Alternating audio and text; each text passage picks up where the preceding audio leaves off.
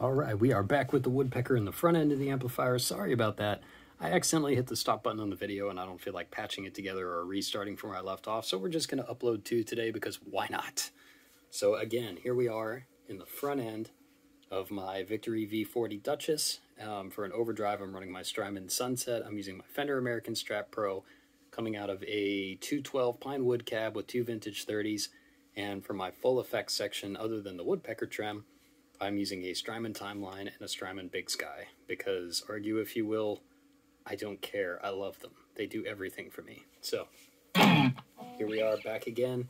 And as I was saying before, when you're running into the front end of your amplifier and you have the rate all the way up and the depth almost all the way up, middle position being your fastest speed, we can leave the level right dead center.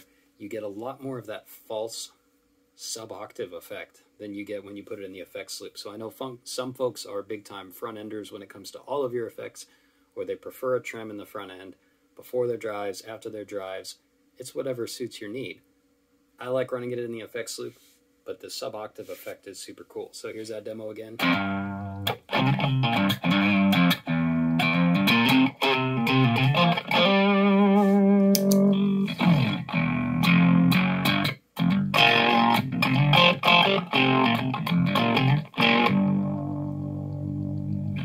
Just sounds cool. So let's tame it down a bit. Let's bring the rate down. We'll set the speed in the double position, back the depth off a little bit, and we'll play with the level because we haven't done that yet.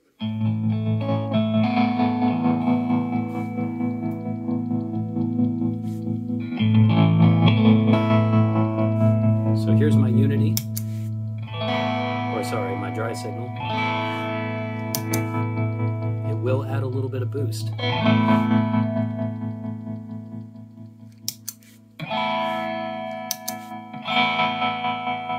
Unity sitting right nice and dead center.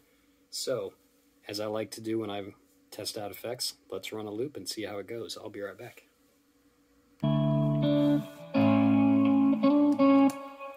Alright, we've got a loop put into the Strymon. We are back. We're going to test it out with a little bit of easy going lead sound. So one of the things I was talking about earlier with the level control is that you do get a little bit of boost out of this pedal. So it is nice if you are using it in the front end to be able to say, okay, I'm going to leave it at unity. And when it comes time for me to pop out over the top a little bit, I'm just going to reach down and give it about a quarter turn just to boost me up over a little bit.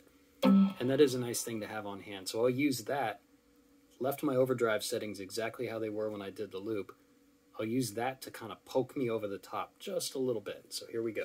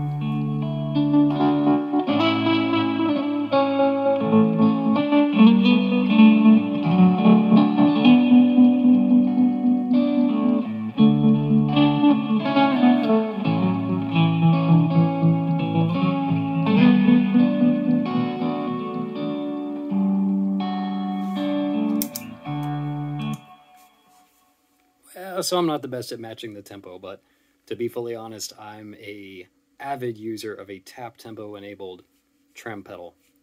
Now, if you don't mind not having tap tempo and you're totally into this sound, I would highly recommend it. It is a phenomenal trem pedal, but I'm one of those folks that I primarily play lead, so I want to make sure that my trem absolutely matches at all times. Now, if you've got a great ear for these things and you can reach down and adjust the rate accordingly on the fly, that's awesome. Great skill to have. Me, not so much, but still, there is a good sample of the Woodpecker trem in its entirety. Highly recommend. It's a phenomenal circuit. If you want to pick up the name brand version, it is an Earthquaker Devices Hummingbird pedal.